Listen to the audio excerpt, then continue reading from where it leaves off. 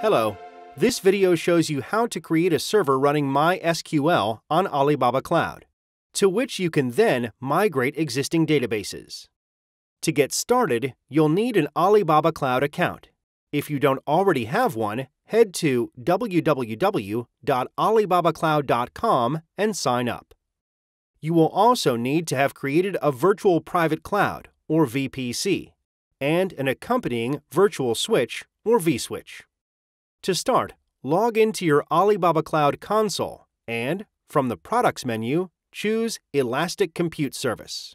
Then click on the Buy Now or Create Instance button. Start by choosing a billing method.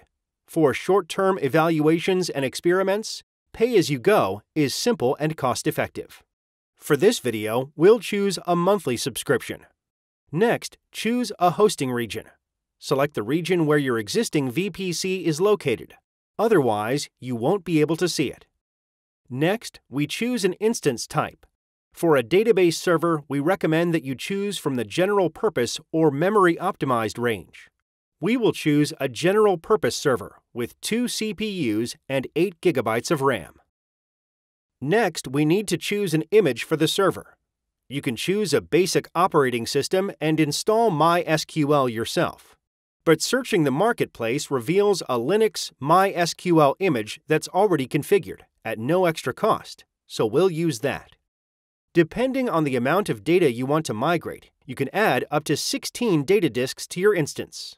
Next, we need to configure networking. Assign your new database server to a VPC or virtual private cloud and associated virtual switch. Next, check and configure the security group settings. The default settings will allow you to log into the server via the Alibaba Cloud console in order to configure it. You will need to adjust them according to your needs once you know how you and your applications will be communicating with the database server. Next, under System Configurations, set the Linux root password for your server and give it a name.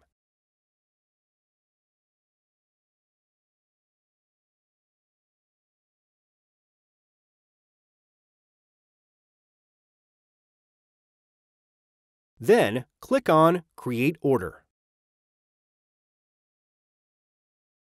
Now return to the console. Click on Elastic Compute Service. Click on Instances on the left-hand side of the screen, and you should see your server listed. We can connect to our server's command line via a browser, direct from the Alibaba Cloud console. On the right-hand side of the panel that shows your server's details, click on the Connect link. Make a careful note of the VNC password that is displayed, as you'll only see it once. Click the Close button, then enter the VNC password. Click OK and you are now connected via a terminal to your server. Log in with a username of root and the password you set earlier.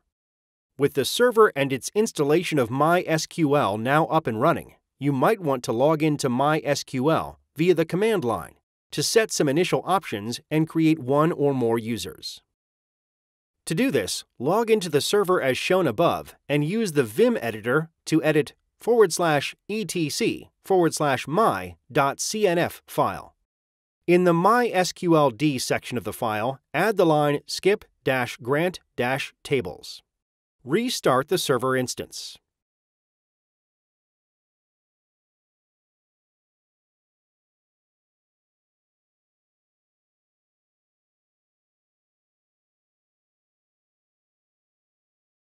Log into the server and type the command prompt mysql u root p. Enter the root password when prompted. You should now be at a MySQL command prompt. From the MySQL command prompt, type flush privileges. Set a new password for the MySQL root user by typing this command. We'll set the password to password123. Type alter user apostrophe root apostrophe ampersand apostrophe localhost apostrophe identified by apostrophe password 123 apostrophe semicolon for security go back to forward slash etc forward slash my dot cnf and remove the skip dash grant dash tables line. Then restart the server once more. You will now be able to log into MySQL as root with the password you chose in order to create additional users. Your server is now up and running, ready to import your data. There are various ways that you can do this, such as via the MySQL dump command or by installing a MySQL client on a workstation. That's the end of this video. Thanks for watching. For more information, go to www.alibabacloud.com. Thank you.